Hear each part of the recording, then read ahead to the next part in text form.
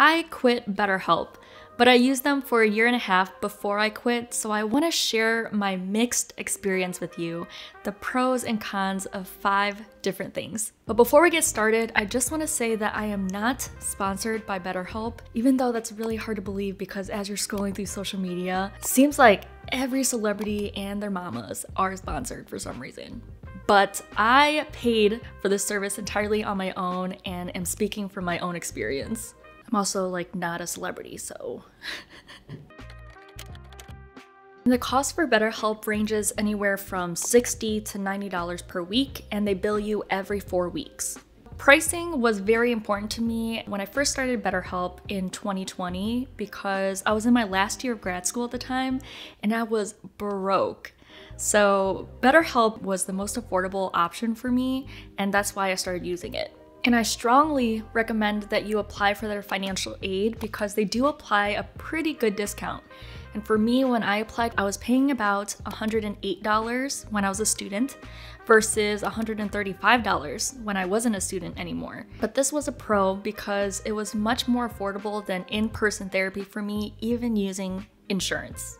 And I guess the con would be that BetterHelp does not accept health insurance, at least at the time of this recording.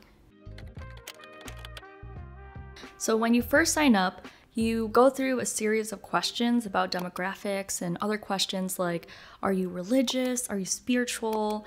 What are you trying to get out of therapy? Things like that. And after you answer these questions and you're signed up, you're matched with a counselor that kind of goes along with the answers that you answered.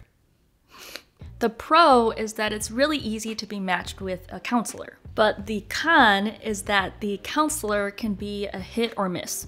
After going through some research and reviews on my own, I read that a lot of people actually get pretty crappy therapists that don't either listen to them or they're not as responsive as they should be. And with my own experience, my first therapist was like that, but also had a lot of problems like sympathizing with me and listening to me.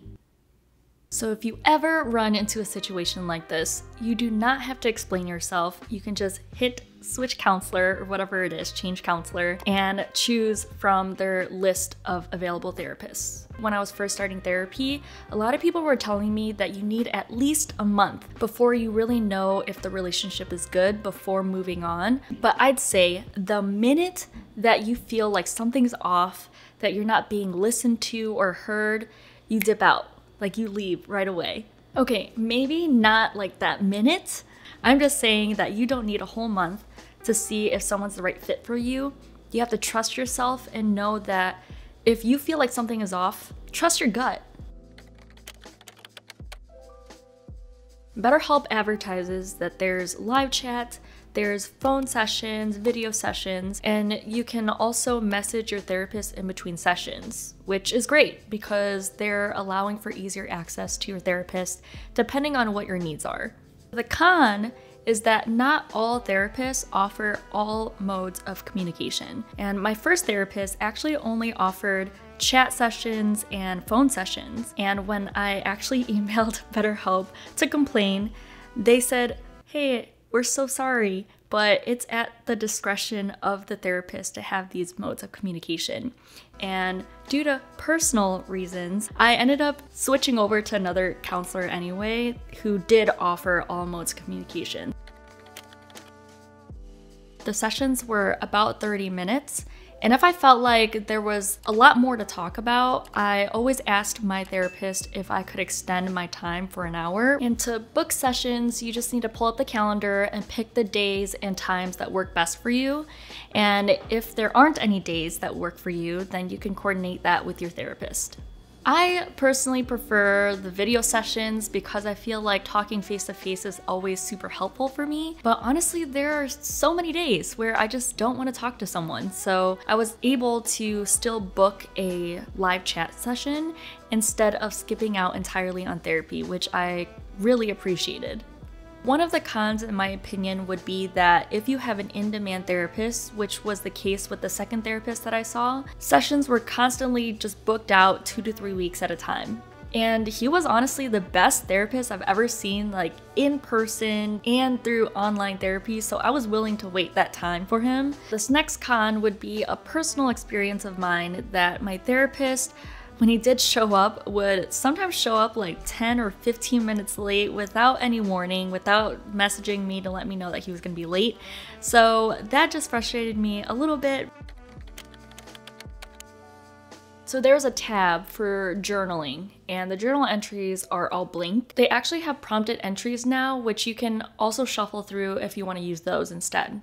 And you could choose to share those journal entries with your therapist or just leave them be and keep them private. And for the groupinars, I really did like the topics that they had them on. I just hated that they were always scheduled during the workday that I wasn't able to go to. And it's a shame because I feel like I would have gotten a lot more out of the BetterHelp experience if those groupinars were scheduled at more convenient times. So you guys are probably thinking like, oh, you were seeing the best therapist you've ever seen. Why would you leave the app? Well, this is a story for you. Okay, so my therapist ended up leaving the platform without saying goodbye. it was so bad. Like, I was with him almost an entire year and a half, and he just dipped out. And it was because of health reasons, which I completely understand, but that's like a breakup, y'all. Like, like I was spilling my heart and soul out to this guy, and he just left. um, but then I was just like, okay, you know what? I'll just give another therapist a chance. So I matched with another therapist, and she no showed on me a couple times. And at that point, I was just like, you know what? Fuck this. I'm done. I'm done. This is adding on more distress for me. So I think I'm just gonna let it go and maybe try another app, which I probably will and review that one too in the future. Now, I'd also like to say that I found out about the privacy concerns regarding BetterHelp after I quit the platform. And really quick, if you don't know what I'm talking about, there's controversy going around that BetterHelp is mining your data and sharing it with other apps like Facebook and Snapchat for marketing purposes. This is all included in their privacy policy, and you could read about it using the link that I'm gonna put on screen right here. In my opinion, even though the controversy is like super messed up, I think that if you're aware of this going on and you kind of just don't care, and you need the help, I think that BetterHelp is a good option for you. And I'm saying this because I found the best therapist I've ever had on the app. And I think that having apps like BetterHelp, this is opening up a whole new world and providing more access to people who wouldn't otherwise get help and go to therapy. If I missed anything in this video, or if you had a different experience from me, go ahead and comment down below because I think that it would be really helpful for other people to hear about your experience. And I'd be curious too, like what did you go through? Did you go through the same things I did?